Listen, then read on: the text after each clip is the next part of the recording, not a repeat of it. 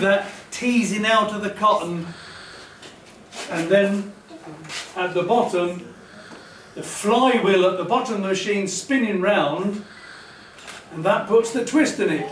So the rollers draft or tease out the cotton and the flywheel spinning around above the bobbin puts the twist in it and it's fed onto the bobbin. It's a very simple process but this machine was very successful. And Nina might be able to just demonstrate, this is just a small version of Arkwright's machine. Same rollers. The big factory, when it was made, would have 32 all that machines this side of the wheel that was powering the machinery. Another 32 that side. Many, many, many machines. This is only one. Right, let's see if I can get it going. I am. Can you see it moving now? Can you see the wheels moving?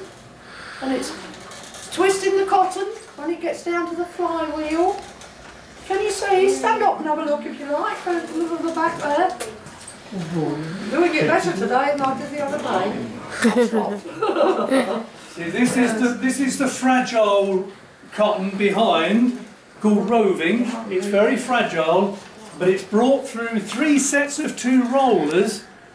One roller flattens it out, the others are all going at increasing speeds, and what they're doing, they're stretching the cotton out wider, longer and longer, but not too much, otherwise it just breaks. And just at the right time, as the cotton comes out of here, these flywheels are turning round and they're putting the twist in. So it's teased out, teased out, quickly twisted.